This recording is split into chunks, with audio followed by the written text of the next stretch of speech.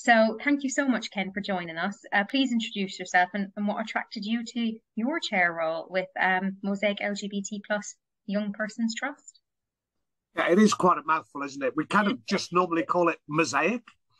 Uh, so uh, what attracted me was, uh, well, you were involved because you'd called me up to see if I knew anybody who might be interested because my background was human resources and a particular focus on diversity uh, and also been involved in a few LGBT organizations.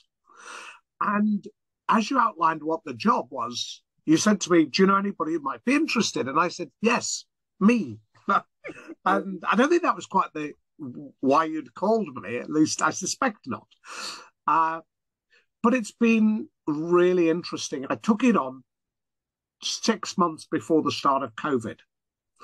And I took it on at a time when there were only three other trustees in place, uh, all white women, lesbians in their 30s. Now, in an LGBT organization in London, that's not a typical board that you would expect. And uh, that enters us with the, most interesting problem we've had, which was we appointed the new board the week before COVID hit. So we went for 18 months without ever having met as a board face to face.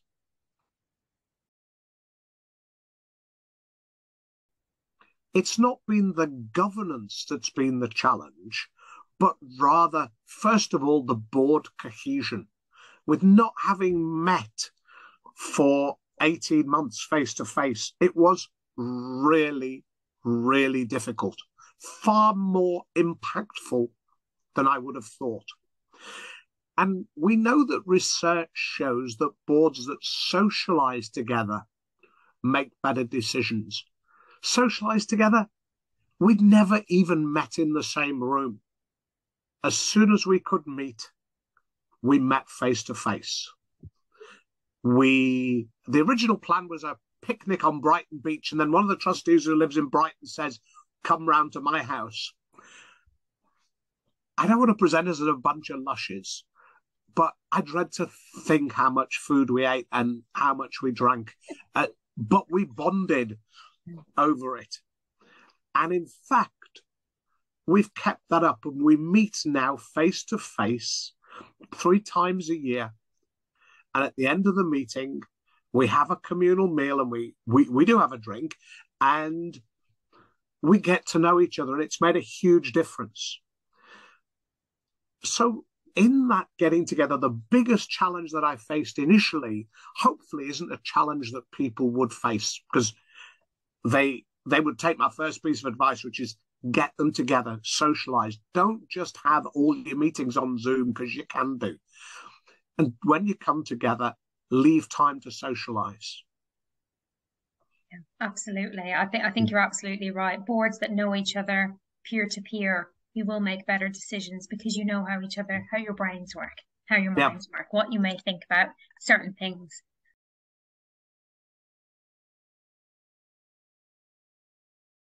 So, in terms of my own chairing skills, I went out and asked chairs who I thought did it very well. What do you do? What advice do you have? And, they gave me different pieces of advice. And there's there isn't one piece that I go, this made the big difference. But in the context of what I was doing and the challenges in that board, they were really, really helpful. So the first thing I did was go and ask others. The second piece of advice I would have is one that I've given to myself recently that I won't let the trustees who are new off the hook for what we expect in terms of their involvement and their time. Because I could take my trustee board and I could divide it down the middle between those who seem incapable of responding to email and don't make meetings that they're supposed to, but when they do make them, are absolutely worth their weight in gold. You know, so present and so good. And it's frustrating because they don't have either the time, I think it is more than the personal discipline.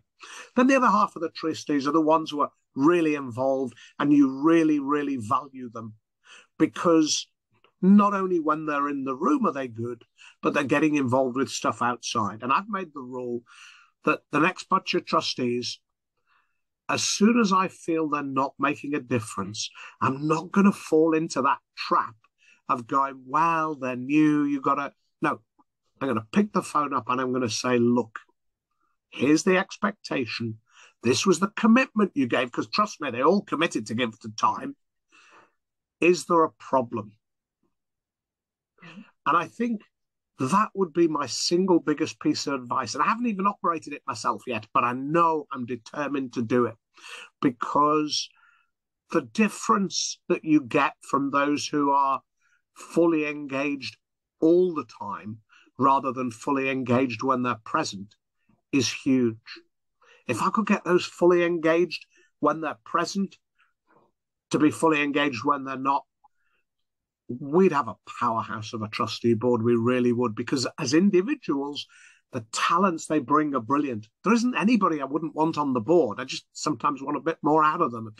And talking to other chairs, they have that too. It's kind of I did wonder whether it was because we were recruiting relatively young and relatively junior people, but I don't think it is. I think it's a mindset that you bring to it. And some people have the right mindset, and some people have a different mindset that frustrates you a bit. Don't be a control freak. What do I mean by that? It's very easy as chair to say, particularly the small charity, well, I'll pull the board papers together because I'm going to be chairing it and I need to be familiar with them anyway. And we don't really have a lot of people who ask about the finances, so I could have a go at doing that, and, uh, uh, and it grows. The role of the chair is to manage the staff and to manage the board and to keep in touch with the board and make sure that everybody is fully heard on the board and here's their point of view. And everything else is detail. And if you're short of time, then it's that other stuff that you delegate. Because you can't delegate talking to your board members to see where they feel about issues, how they feel involved, what are the concerns they have, what are the interests they have, what are they going to speak about or not speak about. Those can't be delegated. Everything else can be. If you're short of time, contract into my jobs managing the single member of staff. Don't lend yourself with managing more. That's the CEO's job. And secondly, managing the board and making sure that we've got the right skills and the right people and they're working well together.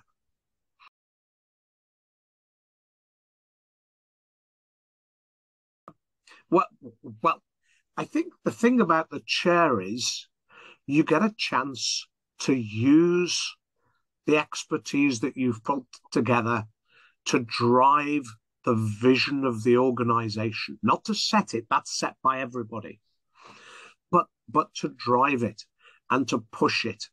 And you know, I had a career in large international businesses. That's what I did all day, every day, made things happen. And it's really filled that gap for me since stepping down out of full time employment to have something that I'm still driving forward on. And, you know, we run a youth service for young LGBT persons and go, you want a bit of motivation? Go talk to them. Go talk to them and hear about. I didn't know anybody else who was LGBT until I came here, or I didn't know anybody my own age, uh, or well, I told my mum and she was so nervous about me being lonely, she found the youth group or, or whatever. And then talk to them about the difference that it's made for them. It's phenomenal. That young person seeing they're accepted just because of who they are is so important to them.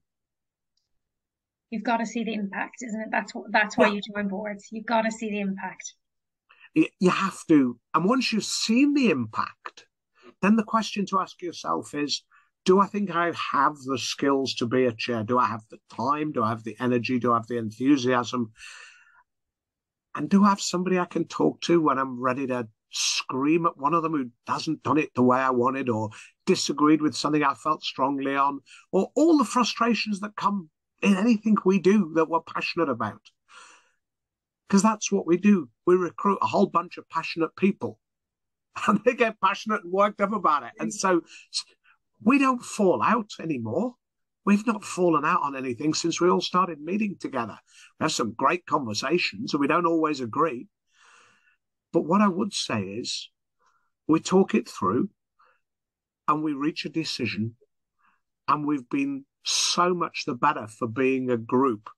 And what I've learned is I actually don't have the answers to everything. And they don't expect that. They actually like to be asked. They join the board to be asked. So get them in a room because you don't always get an answer from them if they're not in the room. Get them in a room and ask them. And you'll get a great discussion. I love and the piece. I love that piece. I love that about not knowing um, all of the answers and not being expected to know.